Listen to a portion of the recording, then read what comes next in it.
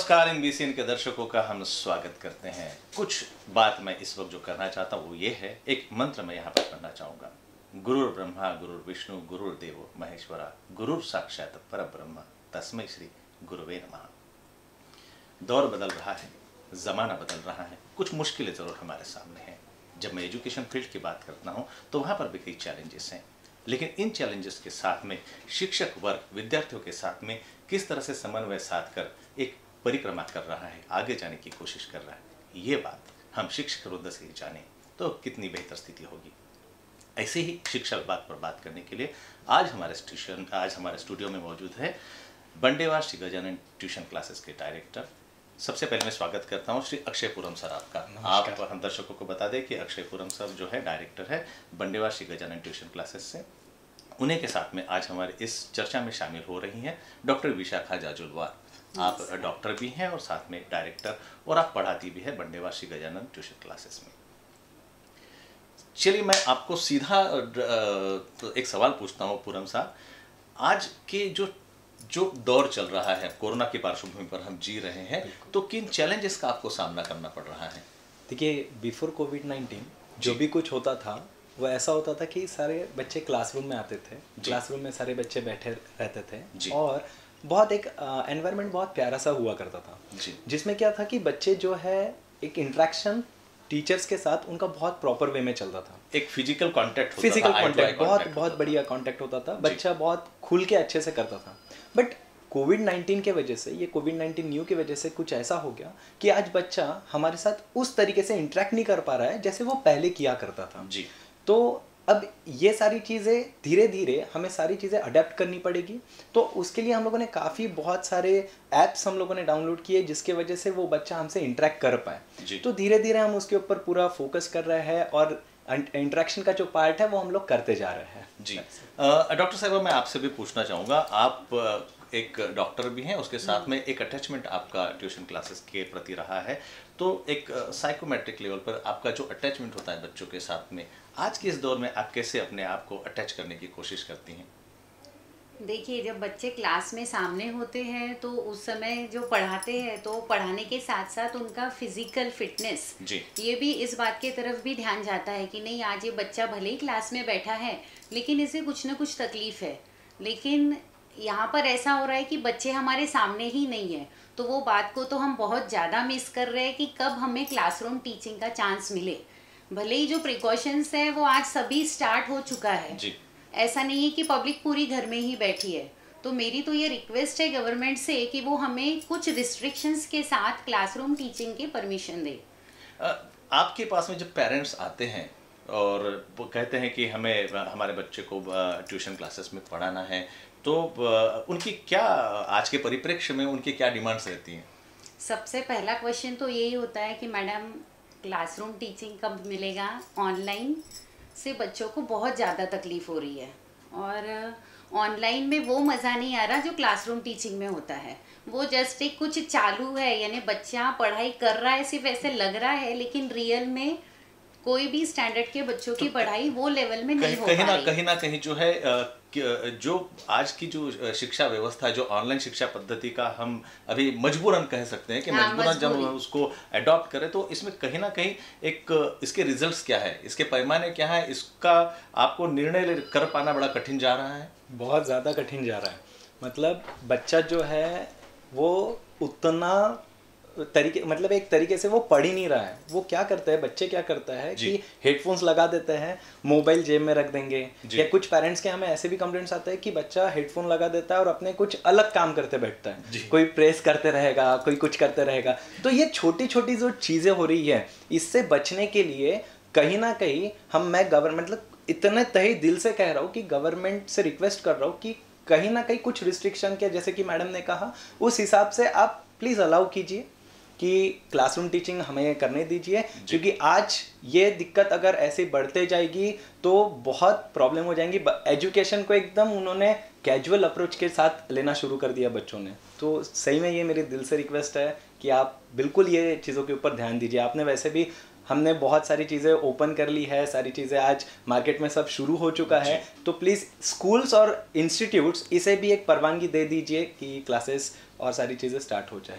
Uh, मैं आपसे बात कर रहा था तब बंडेवार श्री गजन ट्यूशन क्लासेस की आपने एक बड़ी खूबसूरत अहमियत बता थी और उसी के परिप्रेक्ष्य में मैंने जो गुरु ब्रह्मा गुरु विष्णु जो कहा था कि आप एक अलग तरह का व्यवहार एक अलग तरह के संस्कार आपको विद्यार्थियों को देने की कोशिश करते बिल्कुल बिल्कुल। सर आ, क्या होता है कि आजकल जो बच्चे हैं आजकल बर्गर और पिज़्ज़ा का ज़माना आ गया है।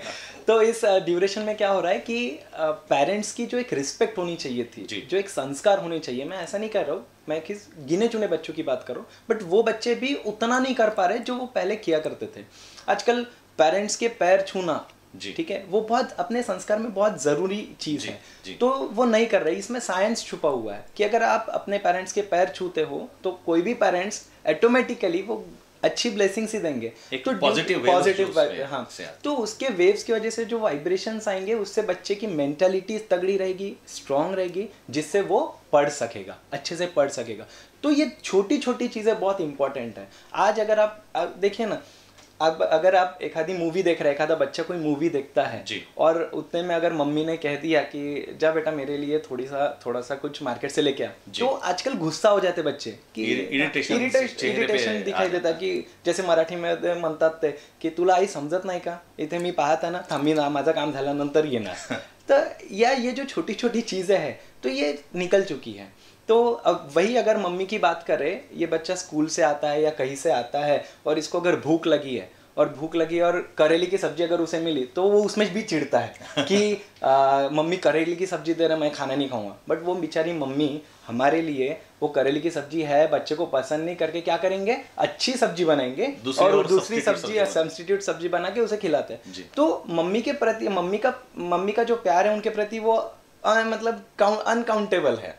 बट बच्चों ने भी वही दिखाना चाहिए। जब ज़रूरत होती है तब पेरेंट्स की ज़रूरत लेता है। जब ज़रूरत नहीं रहती तो वो भूल जाता है। तो ये भी मेरे बच्चों से रिक्वेस्ट तो नहीं बच्चों से रिक्वेस्ट क्या करना? बच्चों से तो मैं कहता हूँ डायरेक्टली कि आप पेरेंट्स की रिस्पेक्ट करें। रोज़ाना उनके पैर छुआ करें जिससे आपको एक पॉजिटिव वाइब्रेशन मिलेगा। तो ये एक बंडेवा श्री गजानन ट्यूशन क्लासेस जो हमारे क्लासेस है इनका एक एक ऐसा यूनिकनेस है जो वैल्यूज़ के ऊपर संस्कार के ऊपर बहुत ज़्यादा फोकस करता है। Apart from your teaching teaching तो ऑब्वियसली करना ही है बट इसके भी अलावा आपको इस सारी चीज़ों पे ध्यान देना है। मैं यही सवाल विशेखा जी आपसे भी पूछना चाहूँगा क्योंकि आप घर में भी एक माँ है हम्म। और ट्यूशन क्लासेस में भी आपको एक माँ का रोल अदा करना पड़ता है शिक्षिका के परीक्षा में और एक संस्था के संचालिका होने की भी आपके ऊपर में ज़िम्मेदारी है।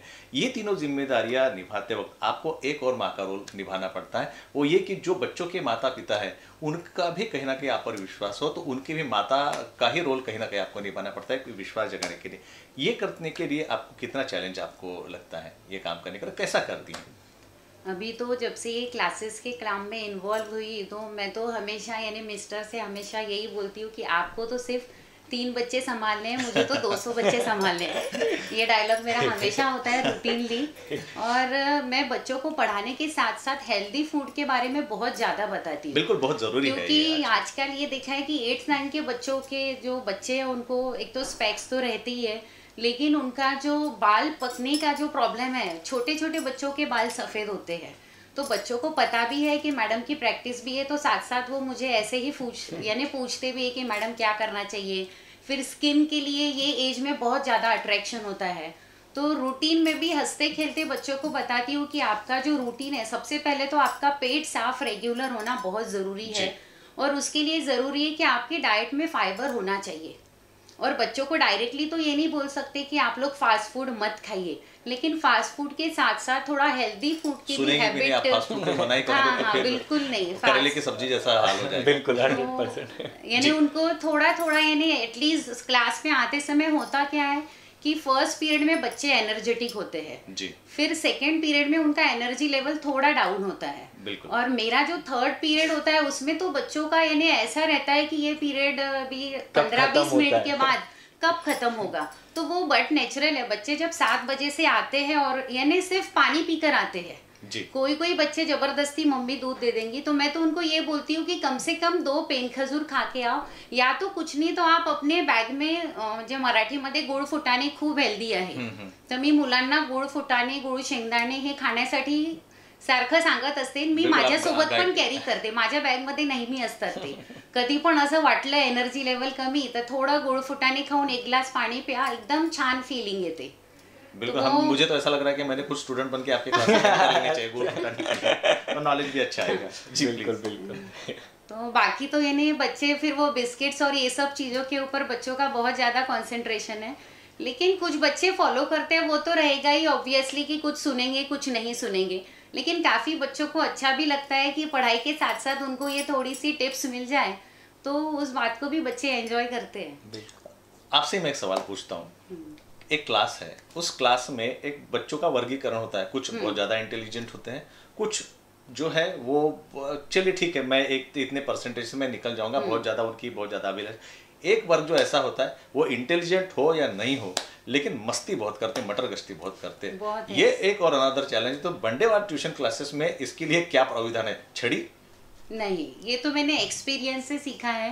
कि वैसे बच्चों को जितना आप प्यार से और अपनेपन से हँडल करोगे उतना वो सुनते. हैं। उनके साथ जोडा म्हणजे जर तुम्ही त्यांच्यासोबत स्ट्रिक झाले ना तर ते ऐकतच नाही. जसं आपण दोन मुलं आहेत एक बदमाश आहे एक थोडा शांत आहे आणि एक जिद्दी आहे. म्हणजे मला जुळे मुलं आहेत तर त्याच्यामध्ये सत्यम जो आहे तो थोडा इनोसेंट आहे. क्लास घर से ही शुरू हो जाती आणि शिवम कसा आहे त्याच्यासोबत सक्ती चालत नाही. तर त्याला मग थोडं प्रेमाने घेतलं तर तो ऐकतो. तर अशा मुलांना म्हणजे प्रत्येक क्लासमध्ये एक दोन मुलं तर असे असतातच की त्यांना खूपच प्रेमाने हँडल करावं लागते. म्हणजे मागच्या बॅचमध्ये माझ्या क्लासमध्ये एक टेन्थ क्लासचा मुलगा असा होता की सांगायला नाही पाहिजे एकदम ओपनली पण- हैं तर तो त्याला खर्रा खायची सवय होती. म्हणजे हे मला बाहेरून माहीत पडलं जी नंतर. जी जी. पण नहीं ये ये चर्चा इसलिए भी करनी ज़रूरी है क्योंकि कहीं ना कहीं जो आप बताने जा रही है ये आपकी जिम्मेदारियाँ भी है। कई ऐसे कई ऐसे स्टूडेंट्स होंगे जो ऐसे व्यसन के अधीन होंगे और उनके माता पिता को शायद नहीं मालूम हो तो ये बहुत ज़रूरी होता है कि हम इस पर चर्चा ज़रूर करें। तर मग आम्हाला माहीत झाल्यानंतर म्हणजे मला माहीत झाल्यानंतर मी कधीच त्याला क्लासमध्ये टॉर्चर केलं नाही किंवा सगळ्यांसमोर म्हटलं नाही. पण जितकं त्याला प्रेमाने हँडल केलं तर म्हणजे त्याचे पॅरेंट्स पण भरपूर खुश झाले होते की नाही मॅडम याच्यामध्ये भरपूर परिवर्तन आहे. आणि त्याची ती सवय तर आम्हाला कमी नाही करता आली पण बाकीच्या बऱ्याचशा गोष्टी त्याच्या कंट्रोल झाल्या होत्या. अक्षय सर आपको कभी वो डांटना पड़ा बच्चों को? कई ऐसी नहीं सर अभी मेरा जो स्वभाव है मैं डांटता ही नहीं हूँ बच्चों को। मेरा मतलब हमारे इधर बंडेवार शिखर जैन ट्यूशन क्लासेस में ऐसा है कि जितना हम प्यार से उनके साथ इंटरेक्ट करेंगे टच में रहेंगे। बच्चा उतना उसको अच्छा समझता है। होता क्या है कि सिर्फ़ मेरे पापा पूरम सर ठीक है? उनमें वो अभी बड़े हैं एज है उनका वो केमिस्ट्री सब्जेक्ट पढ़ाते हैं तो वो उनमें एक आदत सी है कि डांटने की। तो बच्चे डरते हैं। तो ऐसा भी माहौल होना चाहिए कि मुझे किसी से डर मैं आपको इसलिए रोकूँगा क्योंकि मेरा भी अनुभव है कि जो भी केमिस्ट्री के टीचर रहते हैं ना वो पता नहीं उनके चेहरे में छड़ी होती है। जी। बिल्कुल। तो कैसा है कि जितना आप बच्चों के साथ प्यार से रहोगे उतना बच्चा सुनता है। क्या होता है कि हर एक बच्चे का कमज़ोरी देखो पेरेंट्स की क्या थिंकिंग है कि मेरे बच्चे को 90 परसेंट एंड अबव चाहिए। ये बहुत गलत सोच है सर। मतलब मैं किसी पेरेंट्स को दोष नहीं देना चाहता हूँ। मैं बताना चाहता हूँ कि अगर आपका बच्चा 50 परसेंट स्कोर करता है बचपन से लेके तो नाइन्थ स्टैंडर्ड तक और आप एकदम टेंथ में ये अपेक्षा रखते हो कि मेरा बच्चा 90 परसेंट एंड अबव चले जाए तो दूसरों की खुशी में जो खुशी देखते हैं पेरेंट्स वो गलत है। हम लोग क्या करते हैं कि अगर 50 परसेंट वाला बच्चा है उसको इतने प्यार से हम लोग डिस्कस करते हैं कि वो 50 परसेंट वाला जो स्टूडेंट है अगर वो 70 या 80 परसेंट पहुँच जाए मतलब उसने अचीव किया अचीव किया। मतलब उसने इंक्रीमेंट किया। तो ये बहुत ज़रूरी है और वो तभी करता है जब उस बच्चे के साथ हम लोग बड़े नॉर्मली हैंडल करते हैं। अब होता है। कभी कभी हम लोग क्लास में भी मस्ती कर लेते हैं। किसी स्टूडेंट्स को बोल देते हैं आ जाओ स्टेज पे आ जाओ। आपका क्या टैलेंट है बताओ। आप डांस करके बताओ। आप गाना गा के बताओ। मतलब क्लासरूम टीचिंग के अलावा ये छोटी छोटी चीज़ें अगर आप जब करते हो तो बच्चा बहुत खुश हो जाता है। उसे एक अ, मज़ा आती है। हाँ एक प्लेटफॉर्म और पता भी चलता है कि उसमें क्या टैलेंट छुपा है। है ना? तो ये सारी चीज़ें हो रही है सर। चलते चलते मैं आप दोनों से कहूँगा कि आप पेरेंट्स और विद्यार्थियों के लिए क्या संदेश देना चाहेंगे? डॉक्टर साहब आपसे शुरुआत करेंगे। पेरेंट्स के लिए तो मेरा यही सजेशन है कि हमारे साथ आप भी गवर्नमेंट से रिक्वेस्ट करें कि with with in some limitations कुछ लिमिटेशंस के साथ हंड्रेड परसेंट सभी को अपने बच्चों की यानी केयर है। लेकिन ऐसा नहीं है कि हम कहीं बाहर जा रहे हैं प्रोग्राम में जा रहे तो बच्चों को नहीं लेकर जा रहे आज बच्चे बहुत कामों के लिए घर के बाहर जा रहे हैं लेकिन पढ़ाई के लिए ही सिर्फ़ नहीं जा रहे। बराबर है हमने ऐसा भी देखा है कि बच्चे भी घर बैठे बैठे बोर हो गए। और एट्थ क्लास के बिलो के बच्चों के लिए रिस्ट्रिक्शंस ठीक रहेगा लेकिन नाइन टेंथ के जो बच्चे हैं एंड बेसिकली ट्वेल्थ ट्वेल्थ वालों का तो बहुत ज़्यादा टर्निंग पॉइंट होता है। वो बच्चे इतने ज़्यादा ये ऑनलाइन एजुकेशन से यानी हैबिट नहीं है हायर एजुकेशन में इस चीज़ की हैबिट होती है। यानी मेरे यहाँ ये एक मैडम है जो एमएससी फिजिक्स से ऑलरेडी और वो हैदराबाद से ऑनलाइन कोर्स कर रहे हैं। लेकिन उनके मुँह से मैंने कभी ये नहीं सुना कि मैडम नहीं नहीं जम रहा है। शी इज़ कम्फर्टेबल भले ही वो हैदराबाद का कोर्स यहाँ से कर रही है लेकिन वो कम्फर्टेबल है। जी। वो बात ट्वेल्थ के बच्चों में नहीं है उनमें उतना मेच्योरिटी लेवल नहीं होता।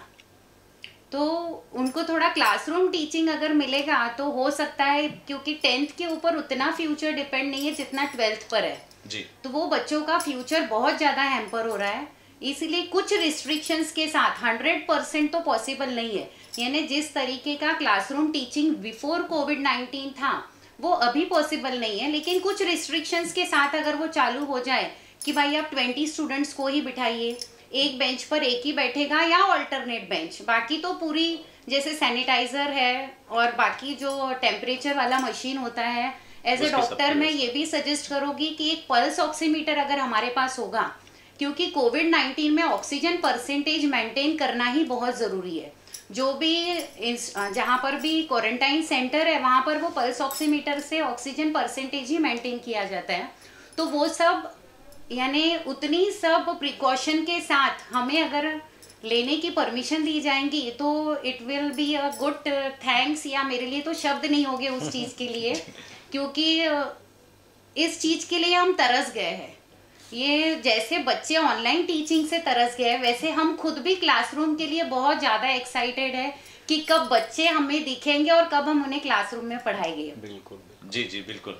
और पूरम सर आप क्या कहेंगे चलते देखिए क्या हो रहा है कि जैसे कि मैडम ने कहा बहुत अच्छी बात मैडम ने बताई। जी।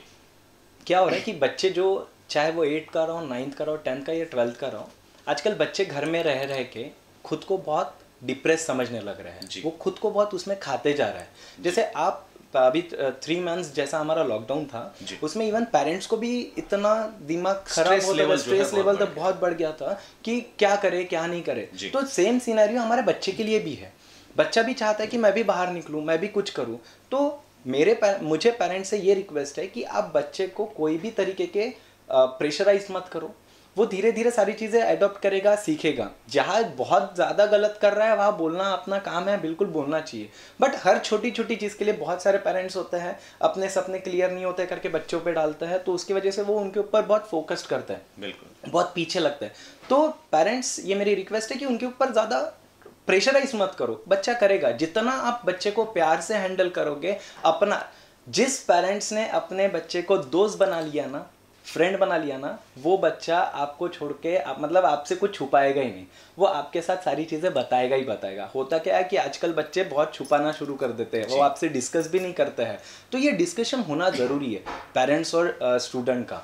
तो जब क्या होगा आपका ये सारी चीज़ें एकदम खुल जाएगा बच्चा पेरेंट्स से एकदम फ्रेंडली हो जाएगा ना तो वो ऑटोमेटिकली पढ़ेगा भी घर का वातावरण अच्छा रहेगा टेंशन वाला नहीं रहेगा और वो खुद को डिप्रेस भी फील नहीं करेगा। तो यही मेरी पेरेंट्स से एक रिक्वेस्ट है कि वो करें। बहुत खूबसूरत तरीके से सर, आप दोनों ने अपनी बात रखी है। हम दर्शकों से भी कहना चाहेंगे कि माँ के बाद में हमारे बच्चों का सबसे अच्छा जो गुरु होता है, वो शिक्षक गुरुदेव होता है। आज कोरोना के परिप्रेक्ष्य में जहाँ हम जूझ रहे हैं, लेकिन वहाँ कहीं ना कहीं भारत का उज्जवल भविष्य तो बनाना ही है, नागपुर का उज्जवल भविष्य तो बनाना ही है, हमारे बच्चों का उज्जवल भविष्य तो बनाना ही है। बंडेवार शिखर गजानन ट्यूशन क्लासेस एक ऐसी जगह है जहाँ प्रसिद्ध शिक्षा ही नहीं, लेकिन सर्वांगीण विकास की ओर भी ध्यान दिया जाता है। जैसा कि आपने सुना, हर एक एस्पेक्ट के साथ में यहाँ पर ध्यान देने की कोशिश की जाती है। हम उम्मीद करते हैं आने वाले समय में बच्चों का और शिक्षक वर्ग का जो फ़िज़िकल अटैचमेंट है, जो एक क्लासरूम टीचिंग जो है, वो जल्द से जल्द शुरू हो। इसी शुभकामना के साथ आज इस चर्चा को मैं यही विराम देता हूँ। आप दोनों का बहुत बहुत धन्यवाद।